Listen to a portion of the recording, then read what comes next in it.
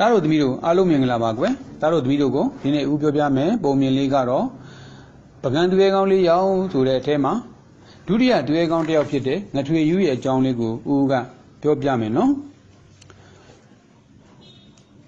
တခါတော့ကပို့ကွယ်အနော်ရထားမင်းစိုးဟာတိုင်းသူပြည်သားတို့ရဲ့ဘဝရက်တည်မှုအခြေအနေမှန်ကိုကိုယ်တိုင်သိရှိစေဖို့ရန်ဖန်ရန်ကတာမန်ရက်သားအတွင်နဲ့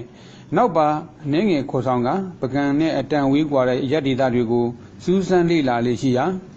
နောက်ပိုင်းကာလတွေမှာတော့ကွယ်သူ့ရဲ့တမှုအဖြစ်ခန့်အပ်ထားတဲ့ကျန်စစ်သားကိုခေါ်ဆောင်သွားလေရှိတာပေါ့ကွယ်တခါမှာတော့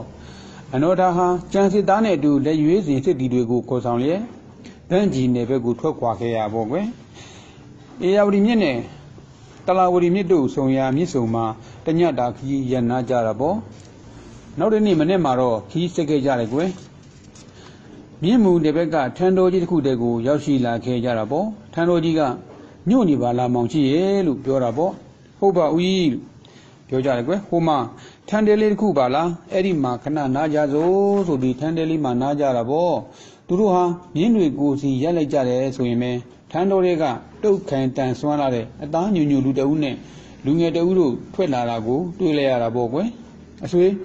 ကျုပ်တို့ကခီးသွားတွေပါထမ်းရီမြည်မယ်ဗျာလို့ပြောတာပေါ့ကောင်းပါပြီထိုင်ကြပါပေါ့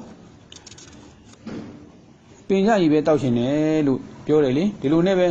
ထန်းသမားဟာထန်းလီသားနဲ့မျိုးတွေခမချိပြီးထန်းမီမောကိုလင်းမြန်စွာတက်သွားလျာအနော်ထာမင်းကြီးတို့လူစုအံ့ဩသဘောကျသွားခဲ့တာပေါ့ကွယ်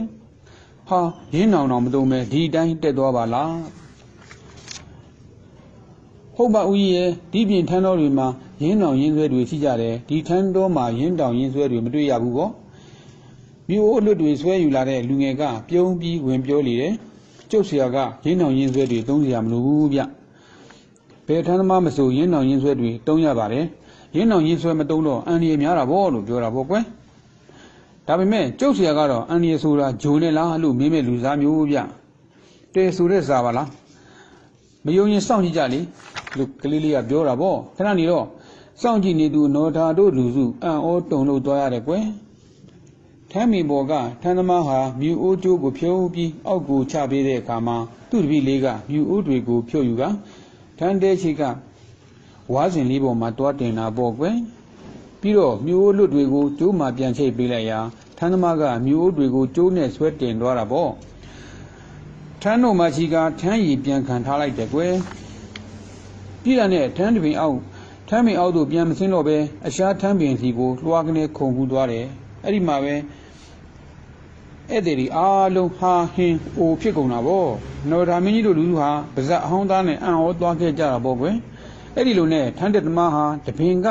နေတပင်စီခုန်ကူးလျက်မြူဥတွေကိုချပေးလိုက်မြူဥအလွတ်တွေနဲ့ထမ်းကြီးပြန်ခံလိုက်လှုပ်သွားရာနော်ဒါမင်းကြီးတို့လူစုလည်းထမ်းကြီးချိုမြင်းသဘောကျစွာကြည်နေမိတာဗော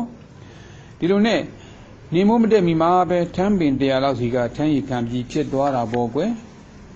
ထမ်းသမားဟာသူအလုပ်ပြီးတဲ့အခါမှာတော့နောက်ဆုံးထမ်းပင်ဘောကနေပုတ်တင်ညိုတကောင်လိုကြောက်ထိုးဆင်းသက်လာတာပေါ့ကွယ်ဟာတဲဟုတ်ပါလားဗောအနော်ရာမင်းကြီးဟာထိုင်ရာကထားလိုက်ပြီးထမ်းသမားရဲ့ပခုံးကိုစုပ်ကင်ကချီချီစကားဆိုတယ်ကွယ်အာကယောက်ျားပါလားကွာသဘူးမှာတလူလို့တောင်ဆိုတော့ပါပြီရဲ့အမောက်နာမီဘယ်လိုခေါ်တယ်လဲကွငထွေယူပါ။ အော်ငထွေယူတယ်လား။ငထွေယူကအာကားယောက်ျားပါလားကွယ်။ရော့ရော့အမောင်ရဲ့စွမ်းရည်ကိုအတိအမှတ်ပြုတဲ့အနေနဲ့ဆုလက်ချီးမြှင့်တော်မူမယ်ဆိုပြီးအမောင်ရဲ့ထူးခြားလာတဲ့စွမ်းမကားတွေကိုဒီလိုထမ်းတော်ထဲမှာမကုံဆုံးတင်ဘူး။နိုင်ငံတော်ကြီးဖွံ့ဖြိုးတိုးတက်စေဖို့ရာမှာအသုံးပြုရမယ်။အဲ့ဒီနောက်အနော်ထာမင်းကြီးတို့လူစုထမ်းတော်မှထွက်ခွာလာခဲ့ကြရန်ထိုလူစုတို့ကိုတလဲလက်ထက်ကတန်ဖိုးများစွာထိုက်တန်လာတဲ့နဗရလက်စုကိုတလဲကြည့်ရင် နားမလည်နိုင်စွာဖြင့်ကြံရခဲ့ရသူကတော့ငထွေယူဖြစ်ပါတယ်ကွယ်။နောက်ရဲ့အတန်ကြာမှာတော့နေပြည်တော်ကမင်းချင်းတအူရောက်ရှိလာပြီးနေပြည်တော်မှာမင်းမှုထမ်းစေဖို့အတွက်နော်ထာမင်းကြီးရဲ့ဆင့်ခေါ်စာကိုငထွေယူလက်ခံရရှိတာပေါ့ကွယ်။ဟာဘုရင်ကြီးရဲ့လက်ရွေးစင်တွေ့ကောင်းဖြင့်မင်းမှုထမ်းရမယ်ဆိုပါလား။ဒါဒါဆိုနဗရလက်စုကြီးမြင့်သွားတဲ့ဦးကြီးဟာအနော်ထာမင်းကြီးများလားဗျာလို့ပြောတာပေါ့။ငထွေယူက အံ့ဩဝမ်းမြောက်ဂုဏ်ယူမဆုံးဖြစ်လေတော့တာပေါ့ကွယ်ပုံမြင်လေးကတော့ဒါပါပဲတားတို့သမီးတို့ရဲ့